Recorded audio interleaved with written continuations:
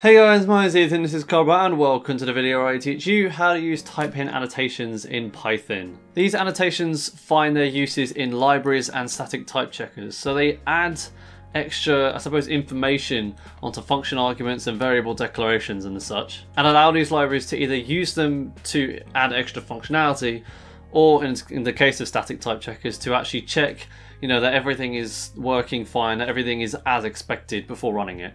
It also makes automatic documentation easy to work with. Of course, if you find this video helpful at any point, then consider like it to let me know and subscribe so you don't miss out on future videos in the series. But with that out of the way, let's get into it. An important thing to get out of the way right at the very start is that Python is a dynamically typed language. Now what this means is if I were to do say x equals 5, uh, Python would be able to automatically work out that this is an integer or that x is an integer. You wouldn't be able to do um, a type in here. As you can see, you get an error. However, as of Python 3.5, there is actually a way to specify the type of a variable. The important thing with this is that it does not turn Python into a statically typed language. If you want to turn Python into a statically typed language, you need to use Cython. I'll make a video on Cython at some other point. Um, but what it does do is it allows for two things. One, for linters and static type checkers to, you know, make sure everything is correct. And two, it allows libraries to do fancy things with the actual type annotations themselves. So for example, if you have a command line interface, all of your arguments are going to be strings. However, you may want to actually convert one of these arguments to an integer, where you can use a type annotation and libraries can actually access these, well, and and you can access these as well. I think it's something in the inspect.parameter or something like that. Um, but you can actually access those, check the type in, and then do something based on that. Now, we're not really going to be covering that in this video. We are going to be uh, gently brushing over the whole static type checker thing, but this is mainly going to be syntax to use. So if we do an import, import typing, uh, is generally what we use. And then I do as t just to kind of keep things a bit clean. And then we're going to borrow a function that we had before. So this is what you would do kind of normally in Python. So you have display bio, I think this is the args and kwargs video. You have name, age, and then job equals none. And you could do something like job text equals I am a. I keep smashing my microphone against my watch. That's probably not a good thing. Just going to move that up.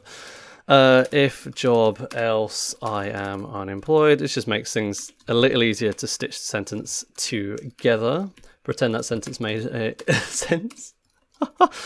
Going to do my name is name. I am age years old, and you know, and, and then we have the job text, which is then kind of already sorted out for us. And if we were to just, you know, make our little scripts, if name double equals main, and then display bio uh, Ethan, which is my name, as I say at the start of every video, and people still tell me.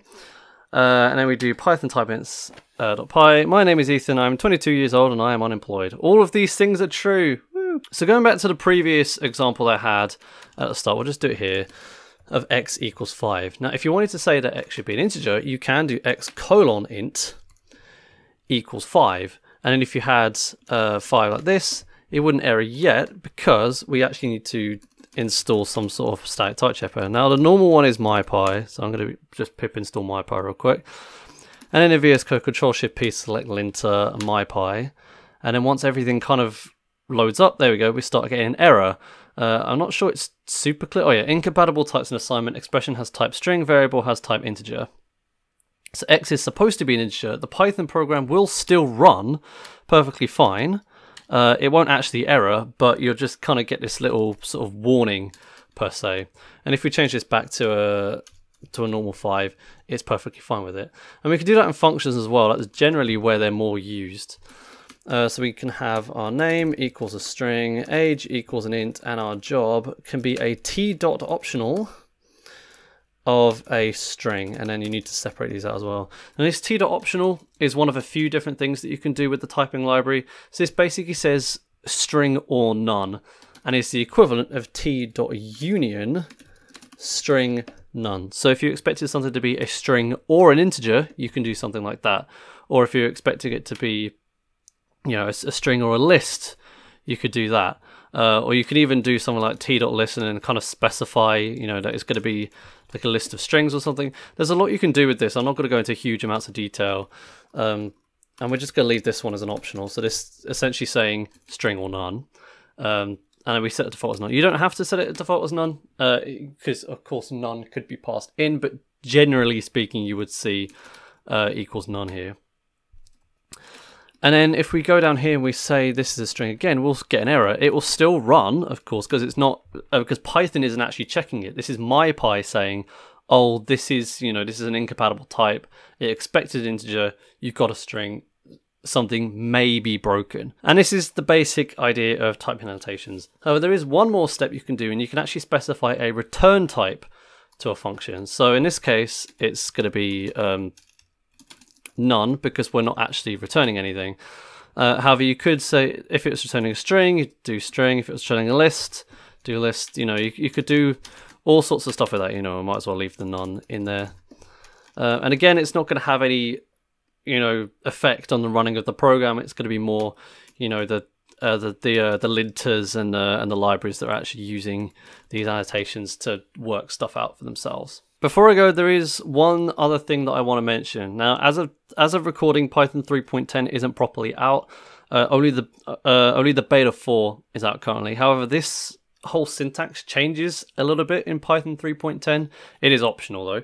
Um, but essentially, what you can do now, instead of t optional string equals none, you could just do string pipe none, and this is it gonna? Okay, yeah, it's saying it requires 3.10 or newer. I think the interpreter hasn't been updated for some reason. Uh, even though I have definitely, hang on, if if I close if I close Visual Studio Code down, it's probably still trying to use the wrong venv because I replaced the venv.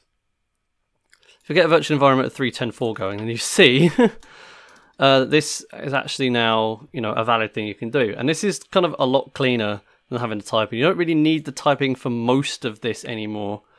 Um, because a lot of it is handled by you know this expression here. So this is now saying string or none. It's saying exactly the same stuff as the as it was before, uh, but obviously this is only available in Python 3.10 unless you import them from the future library. But we're going to be talking about that in the next video. If you want to TLDR that real quick, you can do. It actually has to be at the top, otherwise it'll complain. You do from future uh, import annotations and then once you do that, suddenly the syntax will work in, I think, Python 3.7 and up. Um, it definitely works in 3.9. It says 3.7. However, we will be talking about the future library in the next video, so stick around for that if you're interested in that. But yeah, that is all I wanted to say about typing annotations. Uh, if you have any questions, don't be scared to leave them in the comments below, or you can join the Discord server using the link in the description. With that, I'd like to thank my amazing patrons on screen now. £1 a month and you can be on that screen too. And I will see you next time where, well, as I said, we're talking about the future library. So I'll see you for that.